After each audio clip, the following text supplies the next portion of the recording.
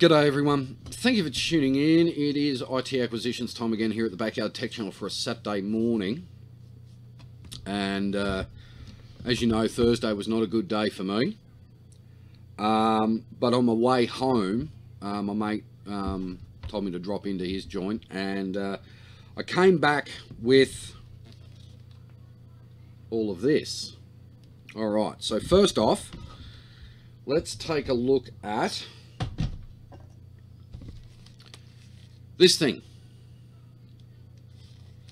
This is a Unisurf notebook, as far as I'm concerned. Actually, it's not much better than a netbook, really. This is from, these, these are Aldi, right? You can buy these from Aldi. We're all familiar with these. We see them all the time. Aldi often have them. Now, this has got an Intel Atom 1.4 gig CPU unit, 4 gig of RAM, and a 32 gig SSD. Now you're probably sitting there going, that's rubbish backyard.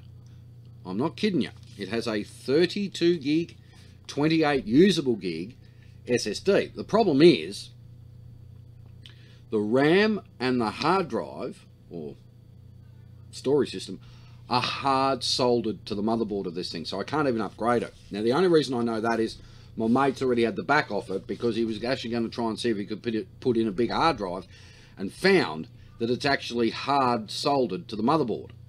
And so what you do for added storage with this thing, which most of you are probably familiar with this, is there's an SD slot just above my finger there. And you put in like 128 gig SD card into it and you've got an extra 128 gig of storage.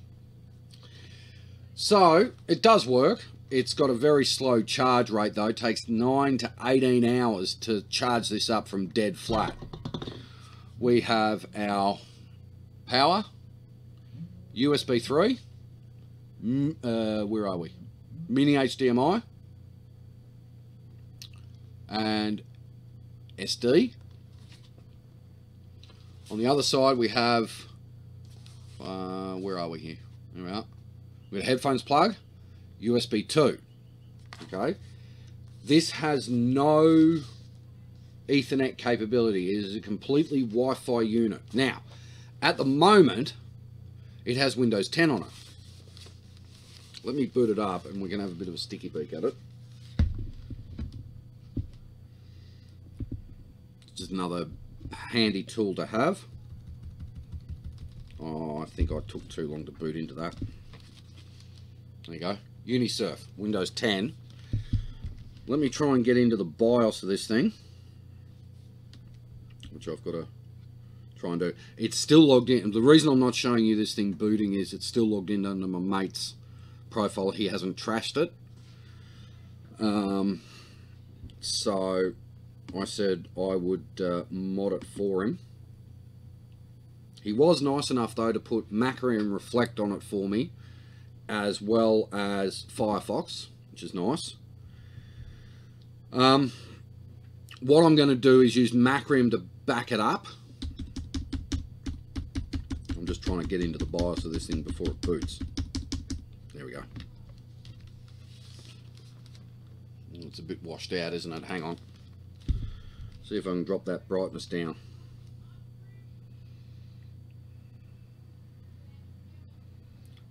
I'm looking for the brightness key on it, but I can't. What is brightness, I wonder?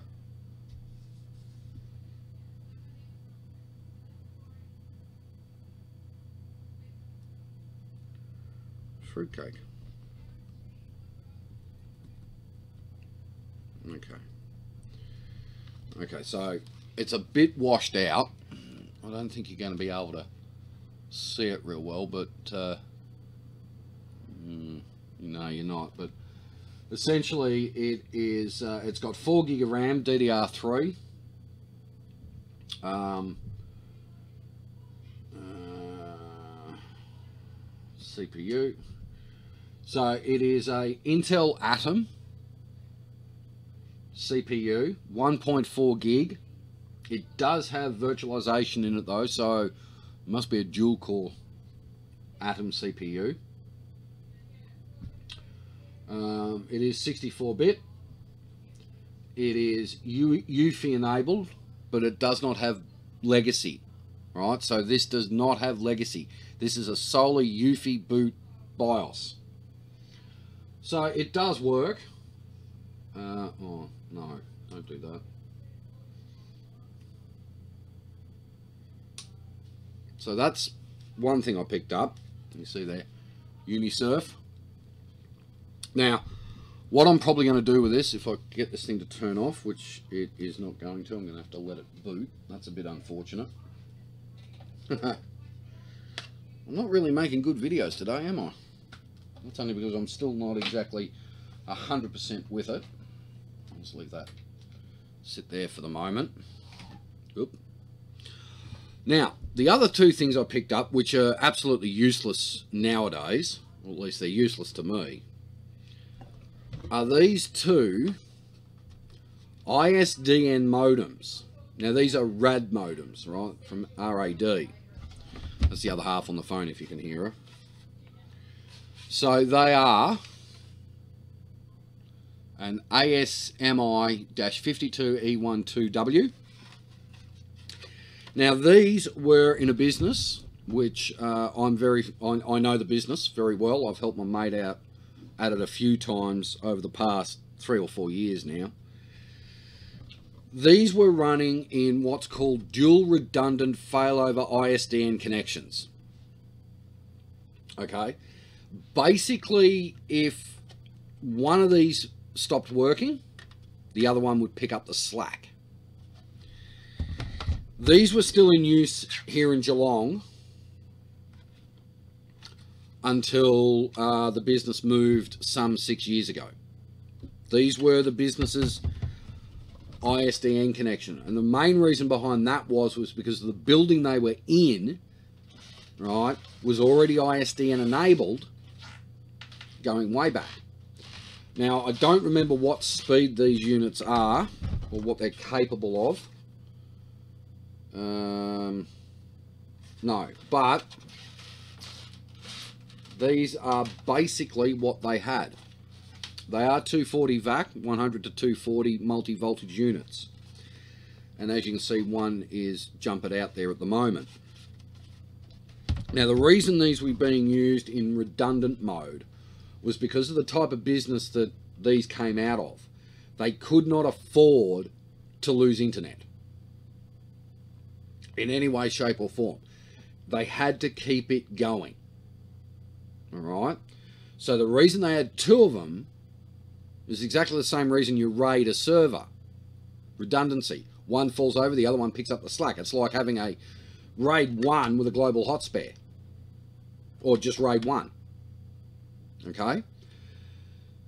Funnily enough, as I said, these were still being used until the business moved about six years ago. This is how they ran their, their internet. Now what they're using is a 10 meg SDSL connection currently.